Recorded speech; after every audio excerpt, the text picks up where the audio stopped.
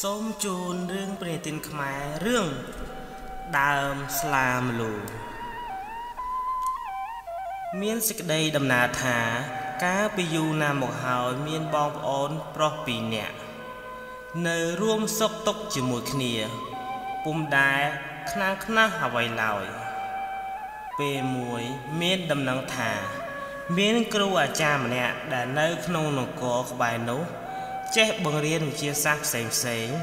បរោះទាំងពីរនេះក៏នាំគ្នាចេញពីលំនៅឋានទៅស្វែងរកសិក្សាសពសារសាស្ត្រទាំងនោះត្បិតឪពុកម្ដាយបានទទួលមរណភាពជាយូរណាស់មកហើយបរោះបងអាយុបាន19ឆ្នាំ ចំណែកប្អូនប្រុសអាយុ16ឆ្នាំលោកបានទៅដល់ដំណាក់លោកគ្រូអាចារ្យនោះហើយបរោះកំព្រាទាំងពីរនាក់ ក៏នាំគ្នាឲ្យលំទោនសុំស្នាក់អាស្រ័យនៅរៀនសូត្រតទៅការបាបានឃើញរឹកពីសុភាពរៀបសារនៃបរោះទាំងពីរនោះហើយគ្រូអាចារ្យក៏ព្រមទទួលចិញ្ចឹមថែរក្សាព្រមទាំងជួយបង្រៀនសពវិជ្ជាសពសារពើផងក្នុងរយៈកាល2ឆ្នាំក្រោយមក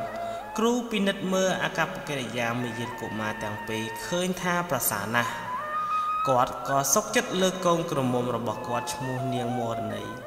ដែលទៅតែបានអាយុ18ឆ្នាំប្រកបដោយរោមឆោមលំពណ៌គួរឲ្យចាប់ចិត្តរៀបសំគុំជាមួយចៅសូដាជាបរោះបង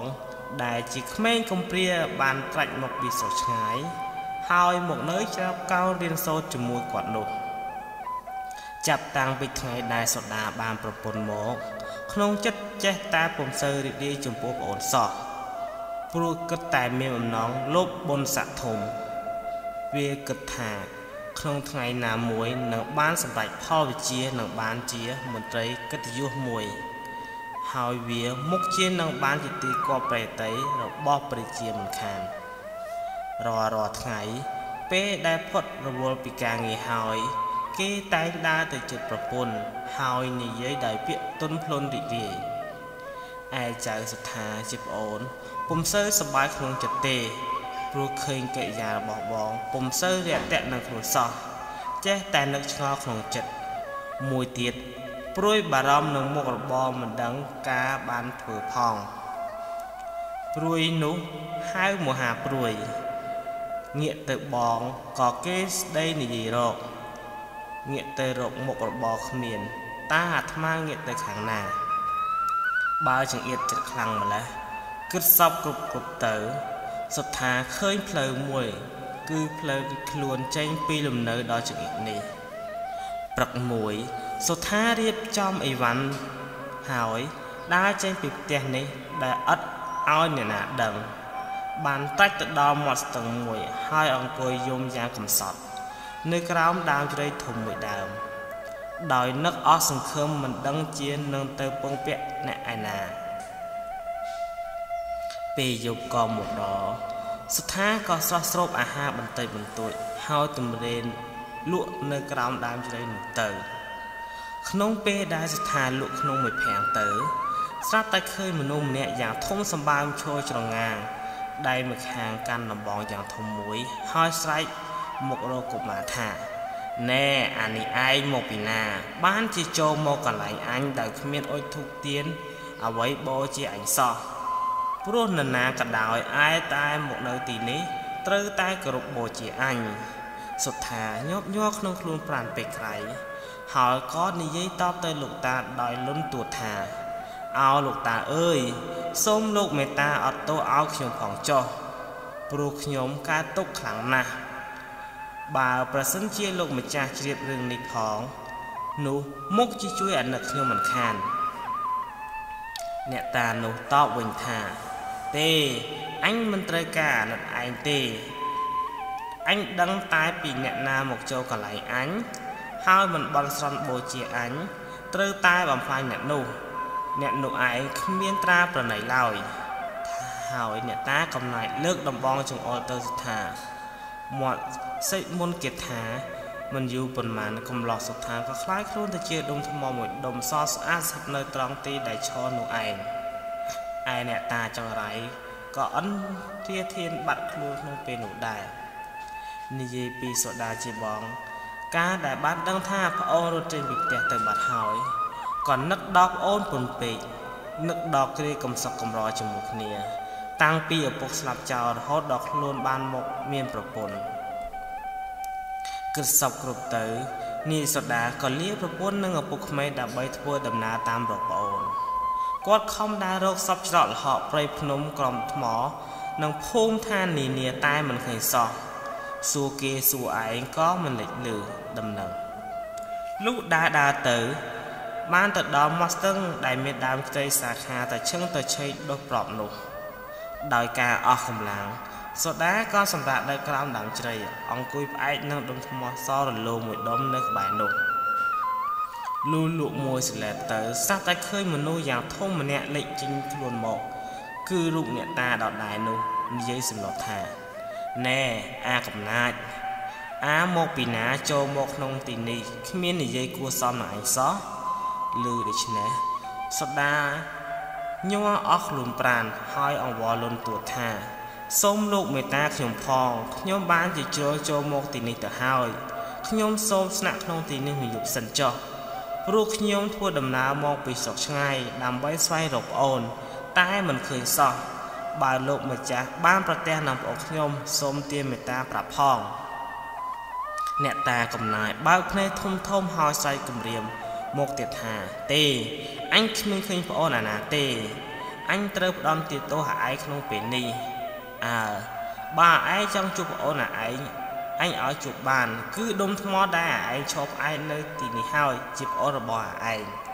ថាតែប៉ុណ្ណោះអ្នកតាកំណាចលើកដំបងចង្អុលមុខនីសូដាព្រមទាំងសេកមុនគាថាថាផ្លុំជាខ្យល់យ៉ាងខ្លាំងមួយរំពេចនោះរូបសូដាក៏ប្រែคล้ายទៅជាដើមស្លាមួយដើមដុះប្រប់ ដុំថ្មនោះឯរូបអ្នកតាក៏អន្ត្រាធានក្នុងពេលនោះដែរចំណែកនាងមនីជាភរិយា ក្រោយដែលបាត់ប្តីយូរប្រកលក្រឃើញត្រឡប់មកវិញក៏ដាច់ចិត្តលាឪពុកទៅតាមរកដីដែលហេតុតែរលឹកដីខ្លាំងពេកទ្រាំនៅបំសុកនាងក៏ដាច់ចិត្តហ៊ានដើរកាត់ព្រៃកាត់វាតែម្នាក់ឯង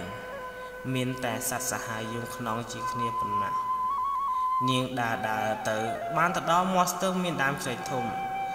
ដល់ជាលំនៅឋាននៃអ្នកតាកំណាយដដែលនោះបានឃើញដើមជ្រៃធំដ៏មានមែកសាខាហើយ នៅក្បែរដើមជ្រៃនាងឃើញដុំថ្មមួយដុំសរលោងនិងដើមស្លាមមួយដើមបែកធៀងមានផ្លែធ្លាក់សម្យ៉ាក់នៅក្បែរដុំថ្មនោះពេលនោះនាងអស់កម្លាំងខ្លាំងណាស់ផង នាងក៏អង្គុយផ្អែកទម្រេកខ្លួននឹងគោស្លានោះលក់មួយសន្ទុះ អ្នកតាកំណាយដដែលបានមកសម្លុតនាងដោយពោពាក្យផ្សេងផ្សេងដោយការសម្លុតសុថានិងសដាដែរទោះបីនាងខំអង្វរយ៉ាងណាក៏អ្នកតាចង្រៃមិនព្រមចេះតែសែកខ្លាំងខ្លាំងឡើងខាងឡើងថាអញត្រូវតែបំផ្លាញជីវិតនាងក្នុងពេលនេះ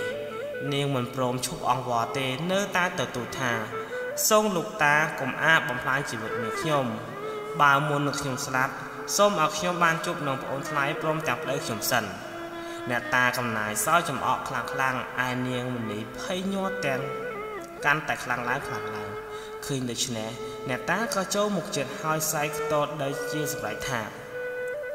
បើនាងឯងចង់ជួបនឹងប្អូនថ្លៃព្រមទាំងប្តីនាងឯងមិនអីទេអញឲ្យជួបបានហើយនាងឯងធ្លាប់តែណែបនិតនឹងប្តីយ៉ាងណាអញនឹងឲ្យណែបនិតយ៉ាងនោះទៀតដើមស្លាដែលនាងអង្គុយផ្អែកនេះហើយជាប្តីនាង ឯដុំថ្មសស្អាតមួយដុំនោះឯងជាប្អូនថ្លៃនាងឥឡូវនាងឯងទៅនៅជាមួយចោះថាតែប៉ុណ្ណោះអ្នកតាលើកដំបងចង្អុលដូចមុនមុនទៀតរូបនាងមុនីក៏ខ្លាចជាដើមមលូដោះលាស់ខ្ចីវល់ឡើងតោងលើដើមស្លាមួយរំពេចអ្នកតាក៏អន្តរាធៀងក្នុងពេលនោះដែរក្នុងការជាដំណេរមក មានព្រះរាជមួយអង្គបានគេរេហពល ទៅប្រពៀបព្រៃបានប្រទះនឹងដើមជ្រៃព្រមទាំងដុំថ្មសស្អាតនិងដើមស្លាមលូដោះប្រពាក់ប្រពូគ្នា ដែលជាហេតុឲ្យព្រះអង្គនឹកឃើញផ្លែកក្នុងព្រះតីពុនពេក៏សួររកអ្នកដឹងរឿងរ៉ាវវត្ថុទាំង3នេះមិនយូរប៉ុន្មាន មានអ្នកដឹងរឿងរ៉ាវនេះគឺពួកអ្នកសុខចិត្តខាងទីនេះដែលគេបានឃើញហេតុការច្បាស់បានមកក្រាបទូលព្រះជាតាមដំណើរសពគ្រប់ ព្រះអង្គក៏ទ្រង់ចាត់ឲ្យសេនាអាមាត្យយកស្រាមកហើយបេះផ្លែស្លាស្លឹកនូទៅដាក់លើដុំថ្មនោះរួចចាក់ស្រាសោចពីលើវត្ថុទាំង3ក្នុងគ្រានោះវត្ថុទាំង3ក៏លាយជាទឹក មានពណ៌ក្រហមដូចឈាមហូរធ្លាក់ចុះពីលើផ្ទៃធរណីព្រះជាទ្រង់តតនៅឧបតបហេតុនេះហើយក៏ទ្រង់ឆ្វេងយល់ថាអ្នកទាំង3នេះពិតជាជាតិមុនស្រឡាញ់គ្នាណាស់បានជាជាតិនេះ នៅតែរួមធៀបរួមជាតិជាមួយគ្នាយ៉ាងនេះដោយព្រះអង្គចង់ទុកអនុស្សាវរីយ៍យ៉ាងប្លែកនេះឲ្យថិតថេរបានយូរអង្វែងទៅទ្រង់ក៏បញ្ជាច្បាប់ឲ្យពពួកអ្នកសុកយកវត្ថុទាំង3គឺមលូស្លាស្រាសម្រាប់ធ្វើជាជ័យមង្គលក្នុងពេលរៀបបង្កក់កងខ្ចីដែលទៅនឹងកើតក្នុងពេលរៀបអាពាហ៍ពិពាហ៍ក្នុងនិងក្នុងឱកាសបុណ្យខ្មោចមានអ្នកសុកខ្លះក៏យកដុំថ្មដុតធ្វើជាកំបោរ ហើយទទួលទានជាមួយស្លាមនុស្សរហូតមកដល់សពថ្ងៃនេះឯដើមស្លាក៏តែងតែបាននៅជាការនិយមរបស់ដើមមលូគឺថាមលូចូលចិត្តវាលើដើមស្លាជាងអ្វីអ្វីទាំងអស់នេះក៏ដោយសារអ្នកទាំងពីរជប្តីប្រពន្ធស្មោះស្ម័គ្រនឹងគ្នាក្នុងគ្រារឿងព្រេងនេះឯងបាទរឿង